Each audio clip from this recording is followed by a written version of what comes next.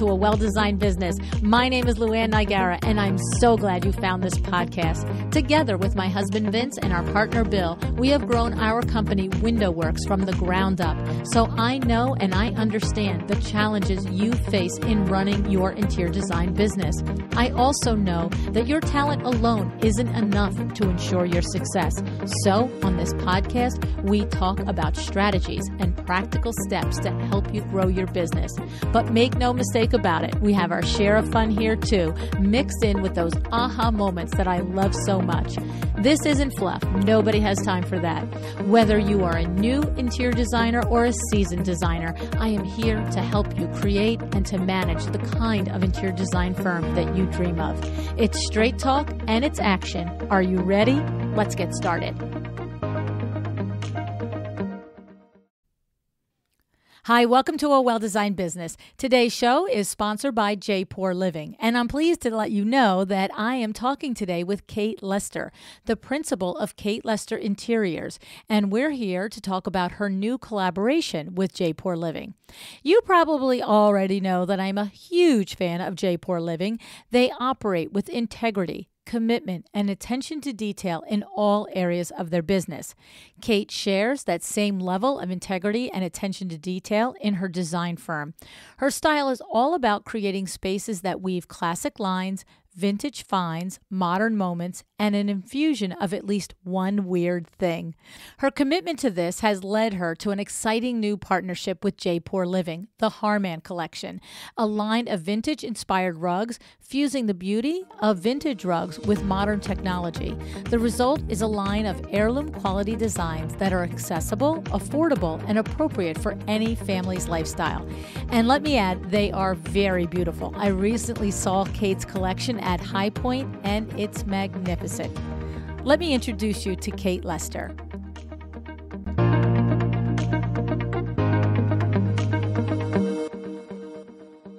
Hi, Kate. Thanks so much for joining me on the podcast today. Hi, LuAnn. How are you? I am great. And I have to tell you, I'm looking forward to learning about this new collection of yours with Jaipur Living. I mean, you don't know this about me, but I adore Jaipur, Kate. I have had a couple of interviews with them now, and I've had meetings with them, and I've met them in High Point, and I just have the most respect for this company. And I'm a tiny bit fangirling and a little jealous that you are working with them so closely. Oh, they're amazing. And they're such a well oiled machine, too. I was just really, you know, obviously, this has been something that's been in the works for a long time. And everything, the whole process was just so smooth. I'm really lucky because this is our first really huge brand collaboration and i hope like all my brand collaborations go this smoothly. I feel like they're setting the bar really high oh my goodness else. right? So tell me a little bit. First i'm going to know about the collection but you just you just said your first brand collaboration. You have a nice sized business on your hands. You're doing so many things right. And in this first collaboration for you, Kate, did you approach Jaipur? Did they approach you? Did you know you wanted your first collection, your collaboration to be in a, in the area, you know, in the rug area? Like, how did it happen? Yeah, I mean, it happened, I would say, just like everything else that happens in my company, which is like one day, you know, you wake up and you're like, oh, I guess I'm an interior designer. I guess I have stores. I guess I have a brand collaboration. That sounds really easy. I mean, there's a lot of work that goes into it, but I always had known that I wanted to take my business in that direction. I have a, a degree in business and marketing from USC. And so my, my other life before design was in corporate America. So, you know, my goal always has been to love my career, but also to make money while I sleep, right? That mm. should be a, a successful designer. That should always be our goals, right? So, you know, I don't want to go to people's houses and charge by the hour for the rest of my life. So, I knew a brand collaboration was going to be the way to go, but you know, of course, just being a regular person who started this company in my guest room, um, I wasn't sure where to start. And so I was speaking at a conference um, in Orange County. So this woman who was sitting at my table at the conference was so fabulous, and it turned out to be Sasha from Jaipur, and she's just incredible. She's like got an MBA. She's hilarious. She's stylish. She just really knows what's happening in the design world, and she's just in tune. And I loved her and we started talking about rugs and you know she said i love your aesthetic and how come you don't use our rugs more? And I said, how come you don't have more vintage rugs that aren't, you know, funky and pr- like I'm not f- a fan of like printed rugs really, mm. right? Mm-hmm. And so when people were printing vintage rugs, I just wasn't gravitating toward that. Um, man-made vintage inspired rugs were something that I don't feel anyone had nailed yet, right? Mm. And so, you know, of course she laughed at me with when I gave her my honest opinion of why I'm not buying, you know, I'm buying wovens from them, but I'm not buying anything with a pattern. And um and that we just started our conversation and my publicist got involved and their team got involved and it was just one of those organic things of I was like, why don't you let me show you how to make a reproduction vintage line that people will actually want to buy? And they were like, well, we think we have some ideas too. And it turned out that we just, we really had some really similar thoughts on mm. where it, what needed to happen with the, you know, the binding and the backing. And there were little details that I think separate this collection um, from other man made printed reproductions. And so those were the things, you know, that when I would order them and they would get here, I'd be like, send it back, it's not right. And Jaipur just really already knew what was in my mind and just nailed that. So it was really great. That's awesome. And how long ago was that that you met Sasha? It was over a year ago. Oh, actually, that's not that long ago, I especially know. when we no. think about COVID times. I know. I know. Maybe it was a little longer, but yes, I mean, it's been in the works. We've been heavily in the works developing this for a, a, over a year. Yeah. Um, and, you know, it seems like toward the end, it just goes very fast and furious, but it's been, it's been a really wonderful process. Well, and I was just going to say, if it really is, I mean, not not that if it, I'm not questioning you. I was just going to say, knowing that it is just over a year, that also yeah. goes right back to what you just said about them having their processes locked down. Because I've had a dozen conversations with people and designers who have had the uh, honor and opportunity to do licensed programs, and it's not uncommon for it to be two and three year process, right? And yeah. so um, that just speaks to your first statement about how process driven they are and how organized they are and all the things. So that's awesome. Because like from an idea, meeting Sasha at a conference to completion, that's pretty totally. record time. And you could, I mean, uh, she probably could tell you exactly how long it was. You shouldn't trust me when I talk about timeline because, like, I don't even know like what day it is of the week most times.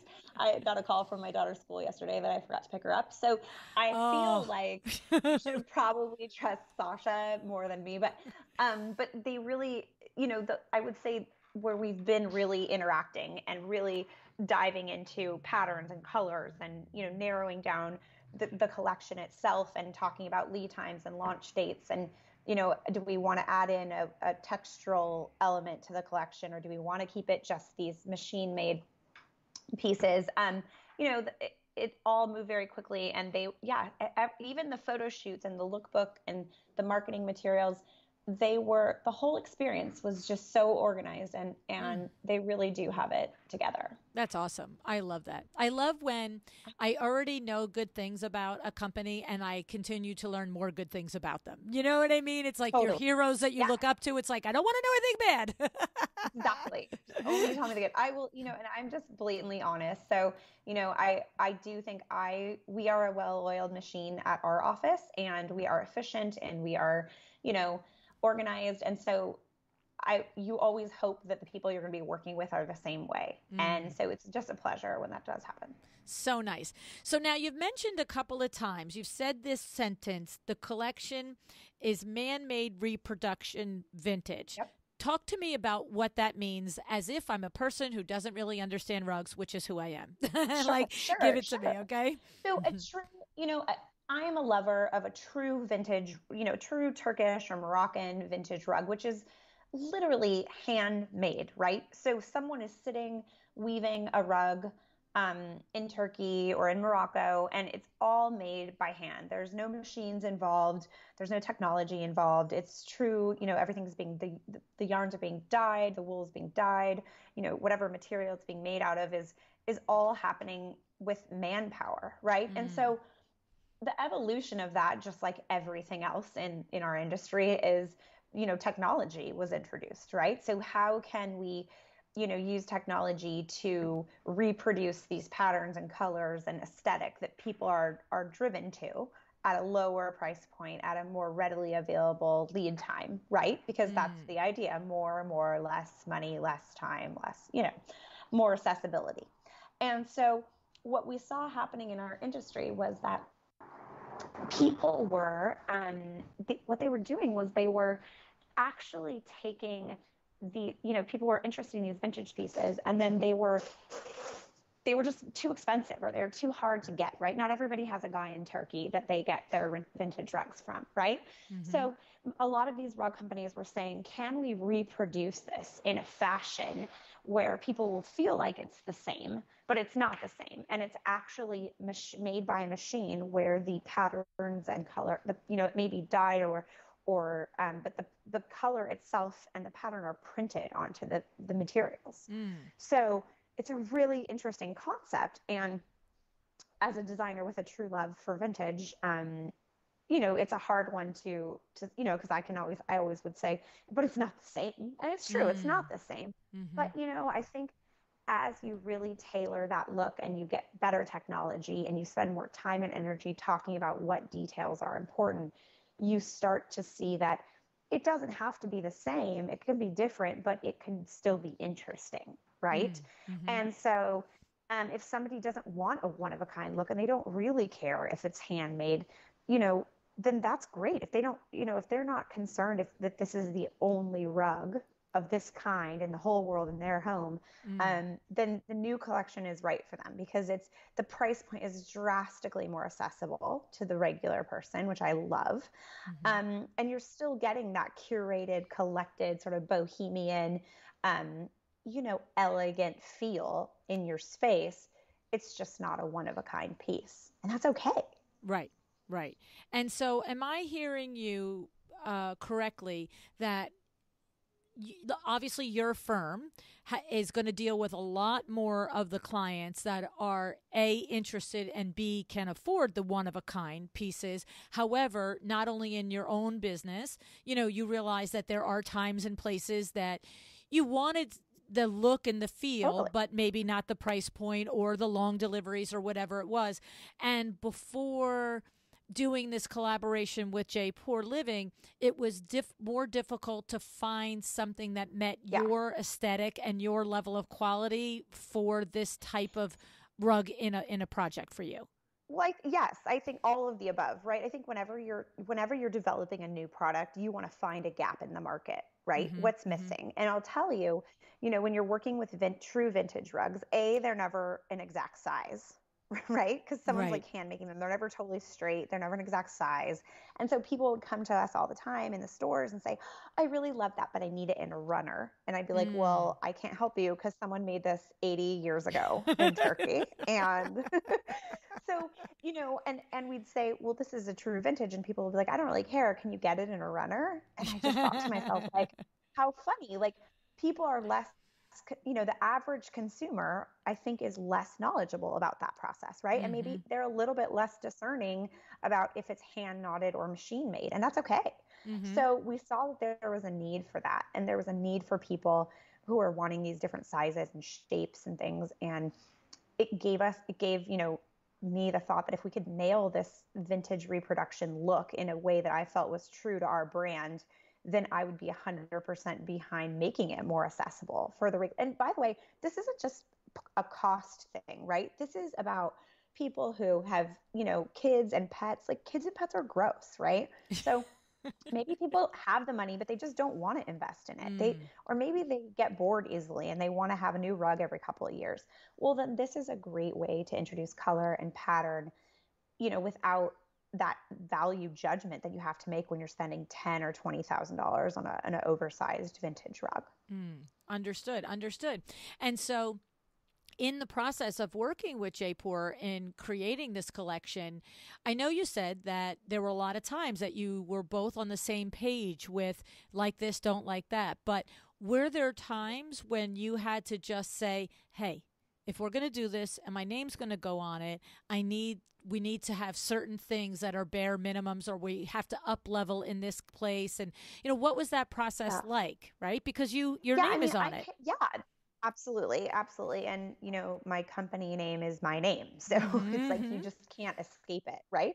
So I think you know, I didn't really want to pull that card because I don't think that that's the best way to get things done, right? Mm-hmm. To, to, to sort of say, you know, it's my name and this is how it should be. So I think there were there were things that I that I you know relayed to them that were extremely important to me, and that was the you know the, that way that the rugs were bound how the mm. edge details were because it's it, I can tell you that after ordering so many reproductions during this process of doing my research, I found that that was always the dead giveaway to me that they felt a little bit I don't say cheap, but it felt, you know, not as elegant as a true rug, right?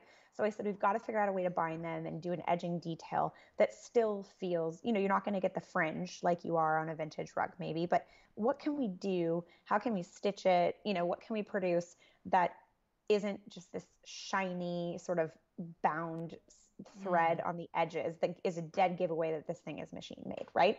Mm-hmm. And so mm-hmm. we did have a lot of conversations about that and it and you know what it's backed with and um, the pile, right? Like how how plush does it feel? Is it tighter like a true vintage rug or is it overly plush, which is another giveaway that it's not really a nod to a true, mm. you know, car- a true vintage carpet. Um, true vintage carpets aren't always all that soft, right? right. So you know the threads uh, the wool is cut and it's and it's dyed and it's been you know hung dry in the sun. And so it's not like a beautiful wall to wall carpet that your feet just sink into all the time. And so i think you're walking that fine line of how do we create this so it is soft enough that people will want their kids and pets to be sitting on it but also that it still is true to our original vision of staying as close to that um, true vintage as we can. And so all those things, you know, pile height, binding, backing, were all taken into consideration. Also the color palette, like, you know, what is driving, you know, what are our most popular vintage color palettes? And I would love to keep that true to our collection as well, right? Mm. Um, I don't use a lot of bright pink. So there isn't a lot of bright pink in the collection. So I think, you know, just making sure that that it felt organic and true to my aesthetic so that people realize that I do care about it and I did help develop it and we did really work together. I didn't just slap my name on something so I could make money while I sleep, you know? Right. Um, right. So that was really, it's important to me that this feels authentic because everything we do is authentic. And I want to make sure that if we are going to attach our name to something, that it feels, you know, just really well thought out and really true to to what we believe in. And I love, um, you know, it's funny because as you explain the details of the rug and the, you know, the, the, the asks, right? I and I didn't think for one second that you yeah. were a diva marching in there your clackety clack heels saying it has to look like this, darling. Right. you know what I'm saying? But right. you know, totally. I, right, right. But I, I mean, yeah. what I what's interesting is, and I said, explain it to me like somebody who doesn't know the difference of a, one rug or another, and I love that because the truth of the matter is, is it sounds like to me that between your um, aesthetic and your knowledge of actual vintage rugs, and of course, you know, Jaipur does handmade rugs too. So it's not like oh, they're just a machine made company. You know, their their experience. No, I, do buy their handmade rugs. Their handmade rugs are incredible. Yes, so right? they know what I'm talking about. Yeah, exactly. And so I love that you identified the places that a machine made rug could be elevated and could have more mm-hmm. of the qualities that you're looking for um, that that mimic the actual vintage rug. So it's it's nice. I mean, and when you said you know the pile, I can picture the differences. Right? It's a big cushy yeah. pile is not something that we're going to find in an 80 year old rug. So um, it's it's it's great. I love I love the thought process that goes into something, and so the collection. But we left out, you know, we left out the bad smells, like of oh. true vintage rugs. They always smell like they've been in someone's basement. So your reproductions, we just went ahead and got rid of that for you. Those are just going to smell fresh. Well, there's that's good. that's interesting, right? Is that something you have to warn your clients about? Like, do you have to hang them outside for a couple of days until you bring them in? What we do, do, do? We do clean all the rugs before they hit the floor, okay. uh, the showroom floor, and before they hit our clients' floors. But you know, sometimes if something has been rolled up um, for a really long time, you have it cleaned. You pr- sometimes we have to clean it again once sure. it's down. You know, our clients will say, "There's a weird smell coming from the office," and I'm like, "Oh, it's probably the rug. It's like 85 years old." So I don't know. Maybe there was a body in there at one oh point. I'm not goodness. sure. Right, but right. we'll get it cleaned again. Yeah. When you think yeah. about all the places that rug has been in its 80 plus years, right? I love it all the history, all the vibes. It's, it's, wonderful. Absolutely. It absolutely is cool to think about it. And so the the collection, tell us about the name of the collection and where did that come from? Is that a you thing? Is that a collaborative thing? Is that a them thing? Yeah. Where did that come yeah. from? Tell so Harman is a me thing. Um, I was they threw out a couple of names for the collection, and I just didn't feel like they were the right fit. It was really important to me that the name of the collection was like super meaningful and it wasn't something that we just you know picked out of a hat right mm-hmm. and harman is actually the turkish word for blend and i loved the idea of that because a a turkish rug turkish true turkish vintage is one of my favorite vintage rugs mm. and so i love that we can give a nod to that right and then also you know i love the, the idea of saying that this is about blending. This is about blending vintage pieces with machine made pieces in your home. It's about blending colors. It's about blending textures.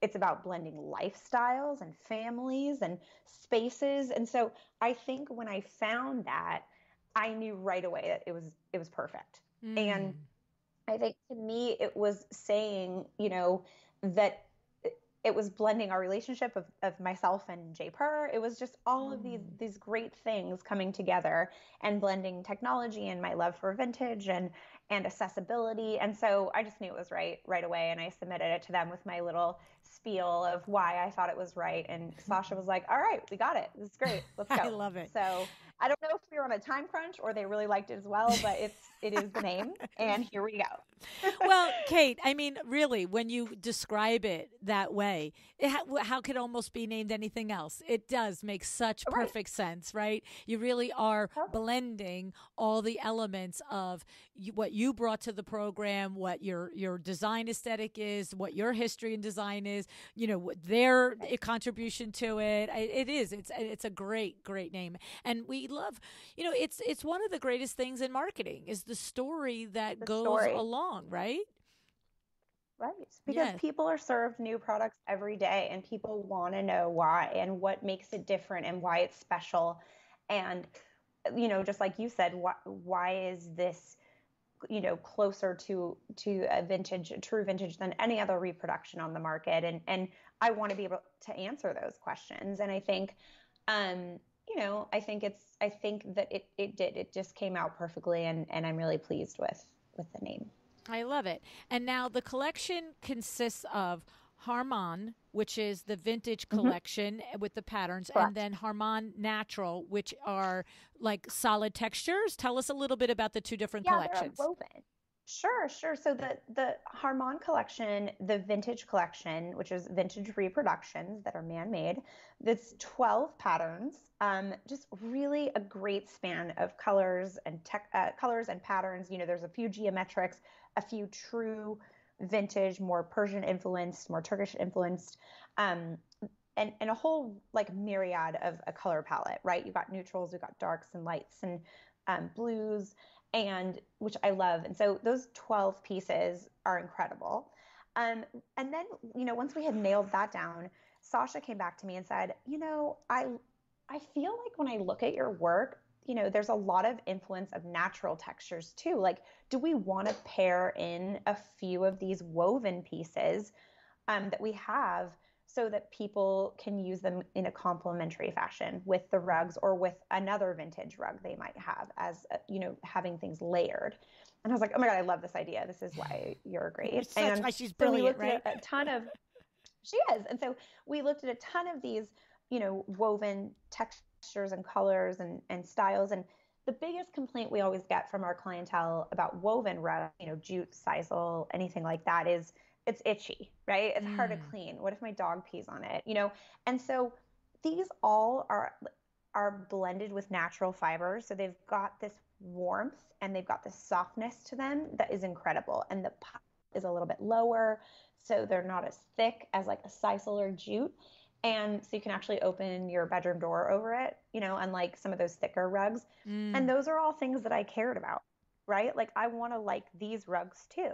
So I want to use these. I want to, you know, I want other designers to know or or you know, rate the regular consumer to know that I've like already tested this out and it's incredible. Mm. So same same thing as the vintage pieces. So these are five additional pieces that are, you know, range in warmth and and other woven colors. There's some whites that run through them, some have little gray running through them, some are just a true natural. And they're meant to be complementary to the rest of the collection and I think it's a great idea. Love it. I love it. And so tell me about the process of designing the patterns for the rug, Kate? How did you know? Did you just like you know grab a glass of Chardonnay and hole up in your studio for three days, or was that oh collaborative also? Oh yeah. no, I definitely, and I, you know, I'm way past Chardonnay, honey. I'm like a straight tequila girl, so I'll just tell you, like, we can't be doing any pattern design after a bunch of tequila. So, um, no, these patterns are actually inspired by vintage rugs from our our collection, I should say, like my collection, my travels, my love for vintage, you know, rugs that I may have used, or, you know, the one that got away that I took a picture of and I was like, oh, I love this rug. Mm. And so mm. it wasn't like I sat down and drew these patterns on AutoCAD because I just don't think that A, I'm not creative, and B, uh, that good at AutoCAD, and then C, that wouldn't be true to what we are trying to achieve, right? Mm. These should be a tribute to the rugs that have you know stolen my heart over the years um, that we were able to use in our clients' homes and projects in my own home, and then also in you know ones that just were too expensive for me to buy that I keep in a Dropbox folder that I'm like you know just should have sold my kidney on the internet for that one, but um, you know so so really it was hey look at this um, this is so great and I love the scale of this and I love the pattern of this and you know, I love this except for the the color, the one color running through it. And so we really just went back and forth and and talked about things like that. And it's not too hard when you have those original pieces for reference, you know. And, I, I, and it's not like we copied them piece by piece, but we were inspired by those pieces, right. and it really led us in the direction of where where we ended up here, changing certain things. And and I think it we really made it our own. But we are so true to saying we were inspired by original pieces and mm. and we cannot forget about the original pieces because that's where this all started mm.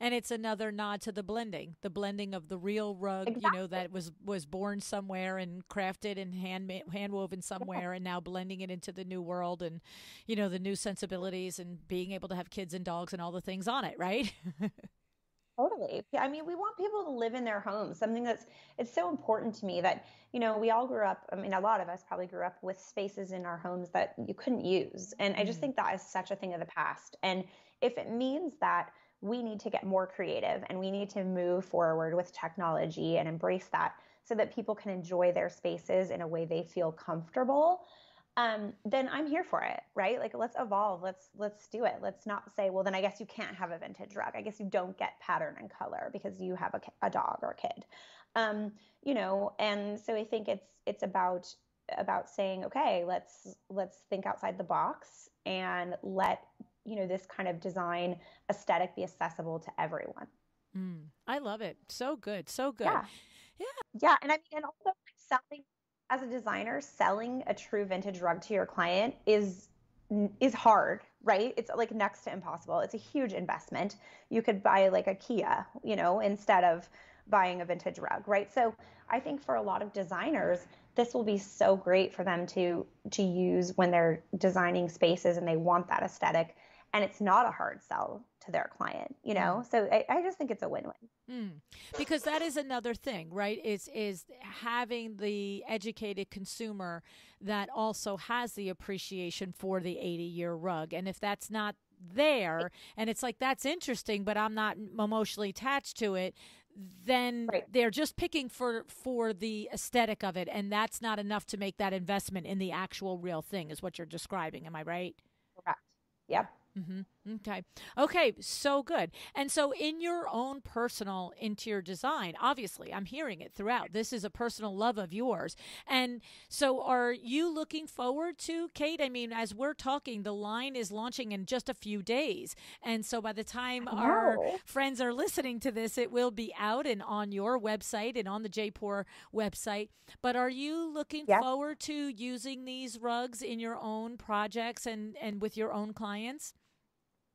Yes, absolutely. Because I have no qualms about the fact that like kids spaces like children do not deserve true vintage rugs in their spaces where they will be like spilling their juice box on them, right? Mm-hmm. So, you know what I always say like my daughter doesn't deserve a Turkish rug. She has a reproduction. And so I think in these spaces that we want to elevate, like imagine a kid's playroom that didn't have this like, you know, puzzle piece rug. It has like an elegant, elevated, you know, reproduction vintage rug. And you're like, wow, your kids are sophisticated and cool. And they're like, guess what? This was so inexpensive and it's amazing. And so I cannot wait to show these rugs to my client because to my clients, especially in the secondary bedrooms and vacation houses and, you know, in spaces where there isn't a value, you know, there isn't a value in investing in those traditional and original pieces. I think I'm absolutely open to it. In a kitchen, you know, in a kitchen for a runner or a hallway where you need a really long runner or you need two runners, or what if you want to do a staircase and you want six of the same? Now you can do that. You can buy six runners and you can have them installed on a staircase. My mind is like a, it's just overflowing with ideas of how we can make the this collection incredible um, in our own clients' spaces. Mm-hmm.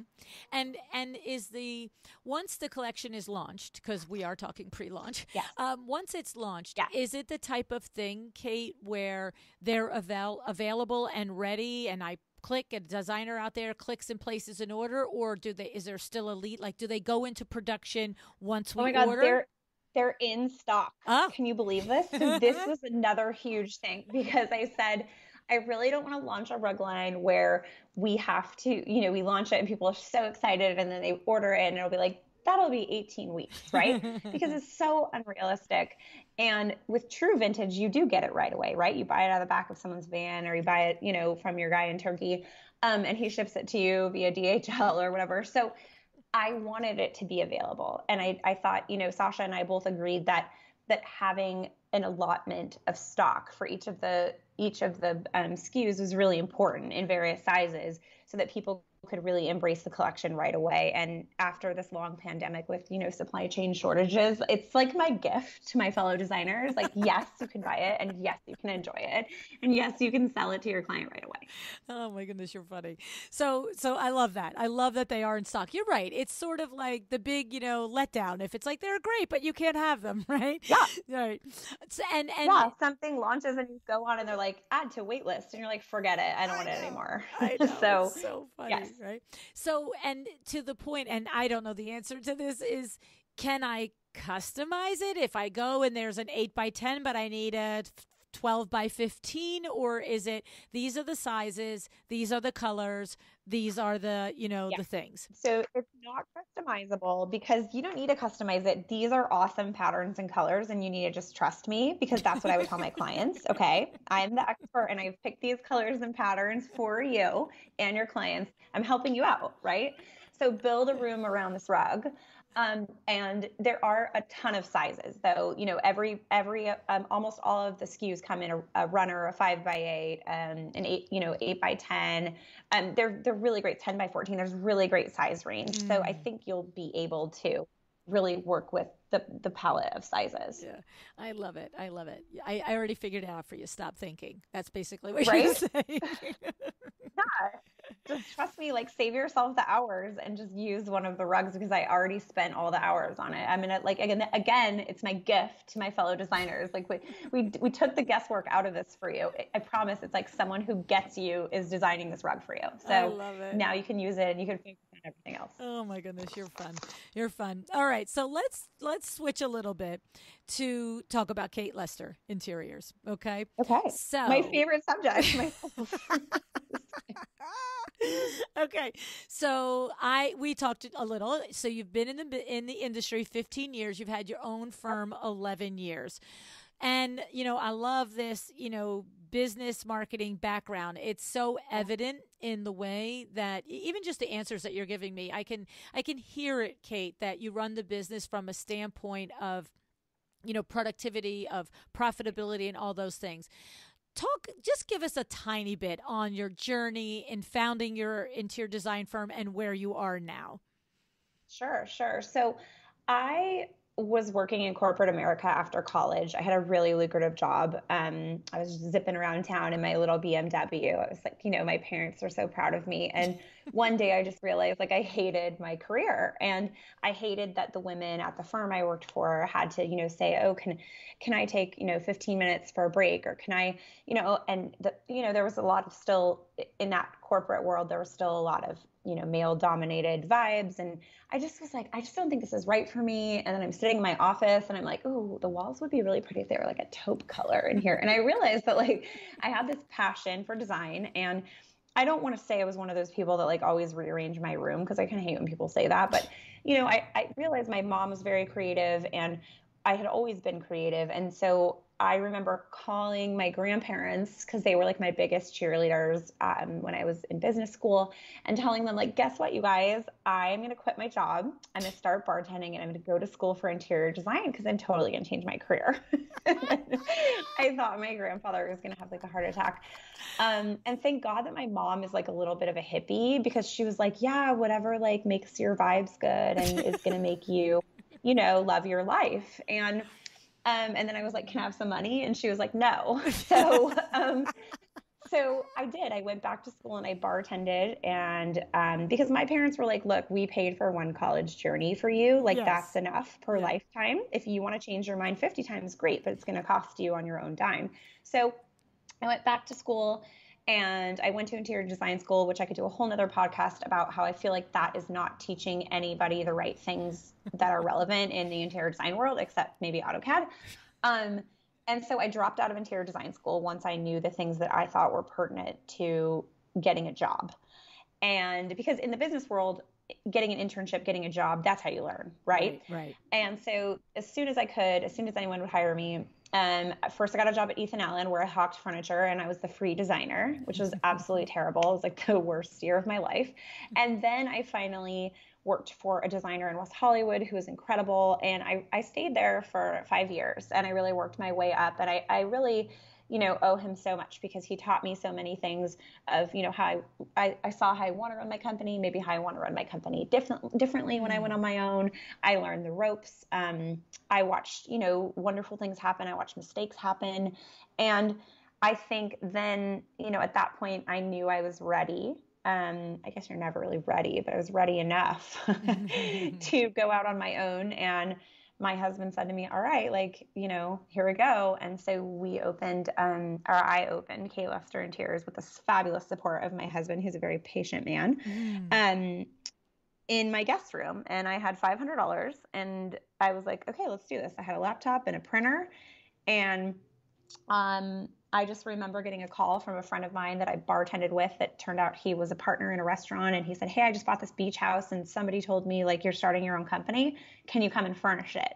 Hmm. And I was like, "Oh my god, the universe is just telling me I made the right decision." Wow. And so from that day forward, you know, the, you know, the, the work came in and I will not say it just came in like the phone didn't just ring. I hustled. I went I did networking, I did marketing, I did dinners and lunches and coffees and you know, I did all the things that you need to do um, all the schmoozing, but the work came steadily and, you know, it got better and better as I got more knowledgeable and, and here we are uh, so many years later. Well, you know what? I love it. I love the story because, first of all, we've had the same sentence to our kids. No, we paid for one. you could do the next. yeah. yeah. And and you know what? I, I mean, look, your business degree is to your what you found out when you were in design school probably serves you infinitely better than if you had the four year degree in design. Oh right? my god, infinitely better. like so many designers ask me on Instagram like how much should i charge what should i charge how do you write a contract and i'm like oh my god the fact that people are graduating from design school and this isn't one of the i mean in business school they teach you all those things mm-hmm. you know mm-hmm. and so i think my business degree has been invaluable because as much as you know i have admired so many designers who I, I have seen sort of like fizzle out because they didn't treat this as a business mm-hmm. and the truth is is that you know, what we do is creative and we do get to be a little weird and a little, you know, like, oh my God, but trust me, this is gonna be amazing. Um, but at the end of the day, this is our livelihood. This is our company. This is a business. And just like any other professional service, you know, we do need to turn a profit. Um, profitability is so important. And a lot of designers think that maybe that's a bad word, right? Because it would like stifle your creative process. But I think you have to learn how to have those two worlds coincide and say this is this is a wonderful design and it's also going to be profitable for me. 100%. Well, you are preaching to the choir here on this show. Every single interior designer shows up, knows that they are looking to create a profitable business. that is the goal. Right? Yeah, because yeah. look, I, I fully believe that each of you that are called to be interior designers have been called for a reason for the rest of us to enjoy what you create when you sit in an office and you're sure. thinking that should be taupe you know that's a thing that the rest of us are just sitting in the office but when you make that office taupe totally. we enjoy it better you know what i'm saying right. and right. so right. we need you to survive we need you to do your thing and to bring your gifts into the world so that uh, we can enjoy it but you have to be profitable in doing it right you do, and you have to not be sorry about it, you know. And I think a lot of times, you know, people complain, you know, your clients will complain about the price, or they'll complain about the cost, or they'll complain about, and you know, I think a lot of times I tell my clients, you know, whatever it was that brought you to me, whether it was Instagram or the website or any of those things, um, you know, that's what that cost.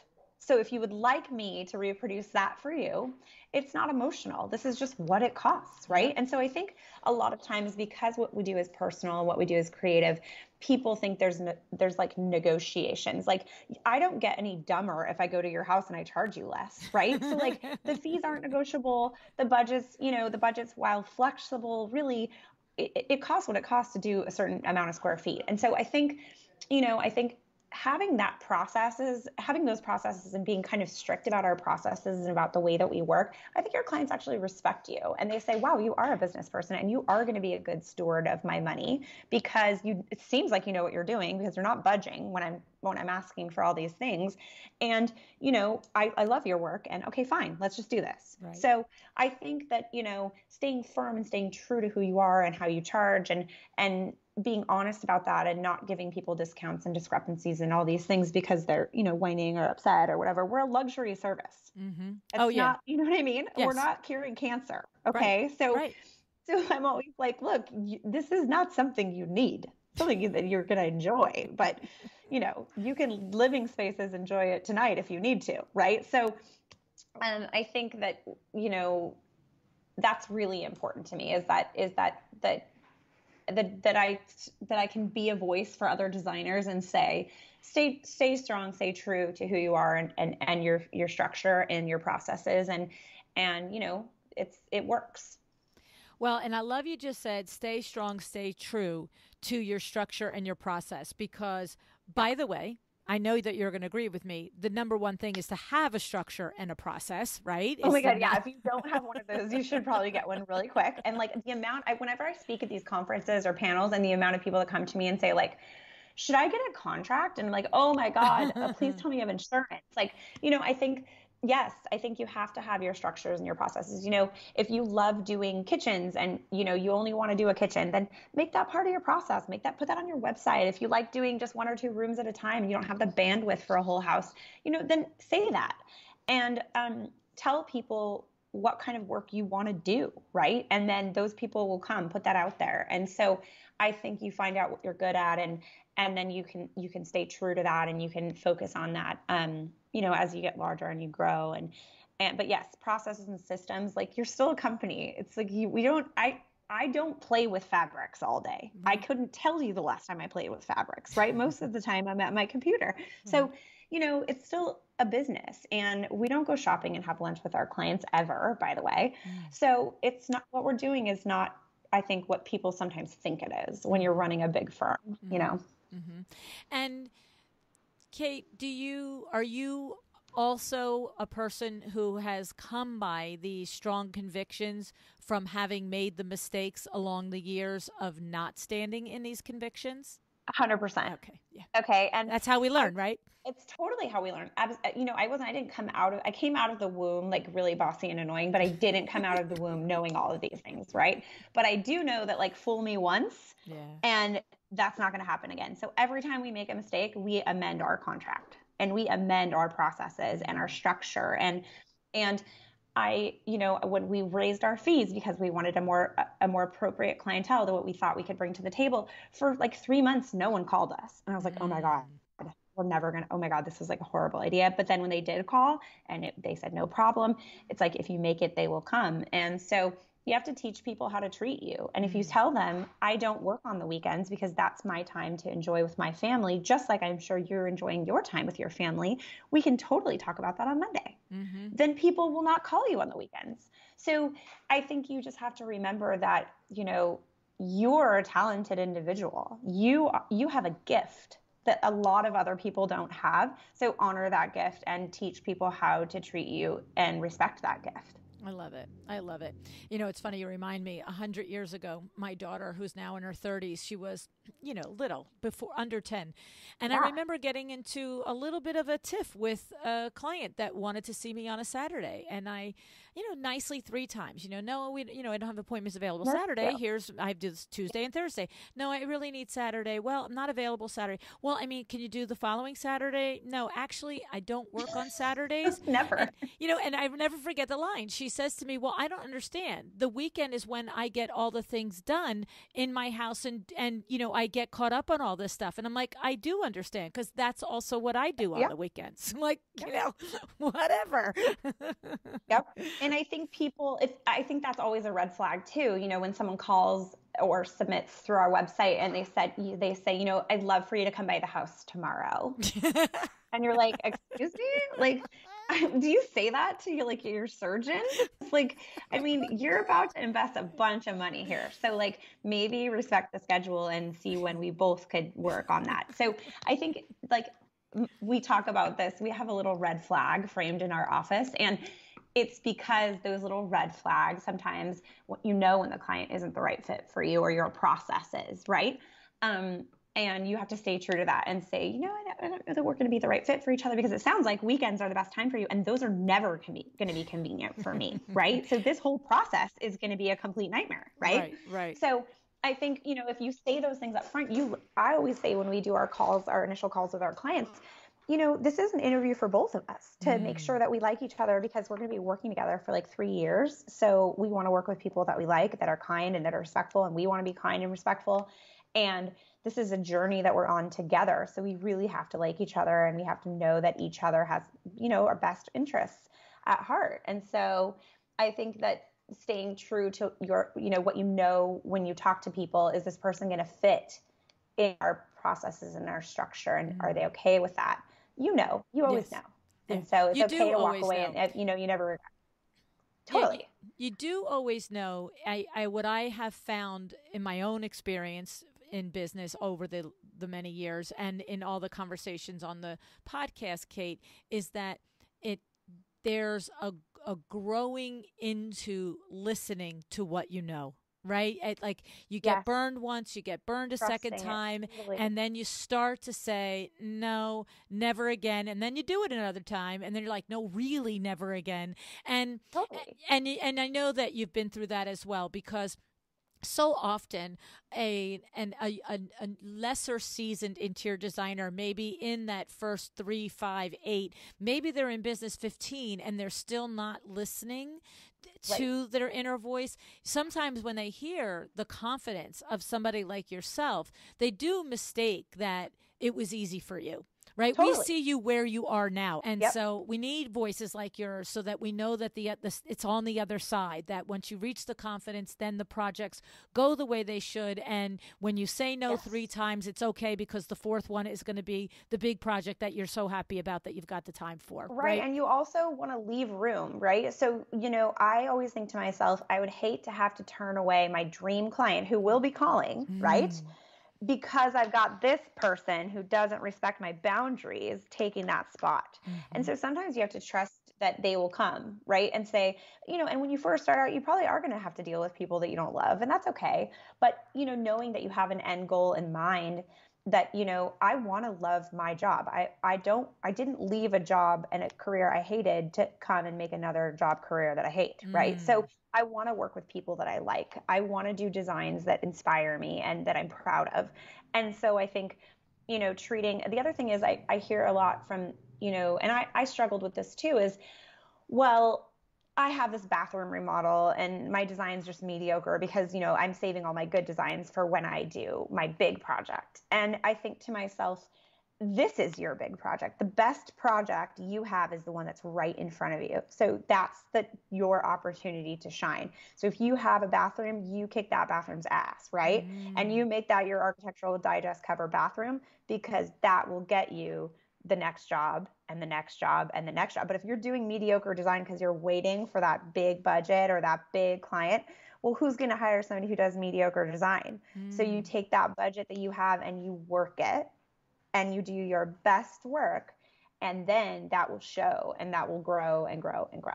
Great advice. Great advice. I love it. I love it. I love it. I love it. So I cannot wait uh, to see the collection, right? So again, as I'm saying to all of you, you can go right now to jaipurliving.com or katelester.com and you can see it.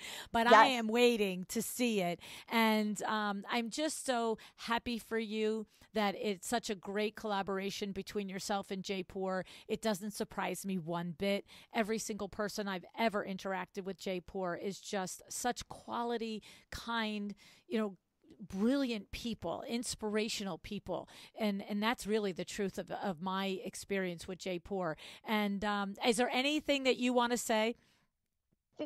well they have a love and a knowledge of rugs that is just so deep and you know the the family is incredible and i just think they really do care about the craft and i think that's something that's becoming more and more rare to find these days you know and and i think that's important and there's a there's sort of an honoring the craft that that that's the culture at the mm-hmm. company and it runs through and it runs from top to bottom and i love that mm-hmm. and i mm-hmm. think that you know it's so wonderful to be able to be partnered with with a company that really has an integrity to their brand and everything that they are that they create and so yes i think um, you have to check out the collection. It's yes, like you said, jaipurliving.com, katelesterhome.com, and I hope that you know it's as wonderful to everyone out there as and meaningful as it is to me. I love it. I love it. Thank you so much. Kate, for joining me today. It was such fun to get to know you. Um, so fun. Yeah, really great, great advice. Great, great bossy personality popped out that way. Yay, you. sure did. Thank you, LuAnn, for having me.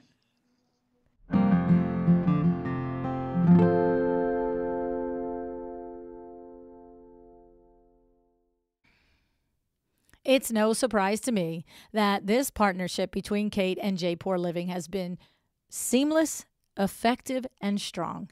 Every interaction I've ever had with Jaipur has been the exact same way. I have long admired their processes, their quality, and their ability to bring beautiful pieces to the forefront, pieces that you can specify for your projects. And the Harman Collection is no exception. And I also love the way that when Kate speaks about the work that she has done with Jaipur, you can tell that she's thrown her passion into this project, right? And the truth is that while plenty of clients are out there who are willing to purchase the actual one of a kind vintage rugs, for many others, it's just not practical right? And while interior design is a luxury and not necessarily accessible to every person, we're also in a time where more people than ever are making an investment into their homes. But kids, pet, and lifestyle may keep the extravagant vintage pieces off the table for some, and this is a great answer to that. I love that Kate saw the gap in the marketplace in this way and decided to fill it how great is it that you can bring these beautiful rugs to your clients who might also be worried about juice spills or dog fur or mud from soccer cleats, right? I also loved hearing Kate talk about her inspiration. She said that she wanted this collection to be a tribute to the rugs that have stolen her heart. You can see that she truly admires and is interested and has researched and lives this, right? She has poured herself into her travels, her designer's eye, and her appreciation for unique vintage pieces all into this particular project of hers. It's clear, too, that Kate is a savvy business owner, one who understands the value of processes and the value of charging what you're worth. And I want to remind you of what she said. She said, Stay strong, stay true to your structure and your process. Slam dunk, Kate, you're speaking my love language. okay. So, when you first start out in business, it's hard, and therefore it can be easy to hedge on your rates easy to take on clients you don't want to work with, and easy to say yes to the kind of projects that you don't really want to do. And I know sometimes in the beginning this is necessary. We've all done it, we've all been there when you're building the business. But the more you can learn, the more experience you gain, and the more you refine your processes, and the more you commit to what you do best and knowing it and hearing that voice in you that tells you this is your lane, the more you can stay strong and true to your ideals, as Kate suggests. The thing is, you can only keep ignoring your inner voice for so long. And the sooner you lean into that voice and stop compromising, the better you'll be. I'm glad that Kate was able to share her business insights with us, as well as talking about the Harman Collection. Take a look at these pieces. I'm sure you will be impressed and pleased at the design possibilities that you have with them. And let the Harman Collection serve as a reminder that you can blend ideas, not just as you create designs, but in partnerships, collaborations, and interactions in the industry. I urge you to go to jaipurliving.com forward slash LuAnn to get started today with opening your trade account. I also highly encourage you and urge you to listen to the other two episodes featuring Jaipur Living. You will not be disappointed. In fact, I'm 100% sure that you will come away from both of these episodes inspired to improve your business, inspired to ask yourself, Am I living my values in my business? I know that you're going to start to ask yourself these questions after you listen to these episodes. All right. I'll put the links in the show notes so that you can just click on them and go right on to those episodes next.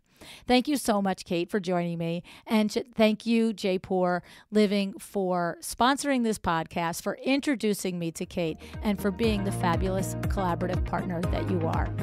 Thanks tons to you, too, for joining me today. Decide to be excellent.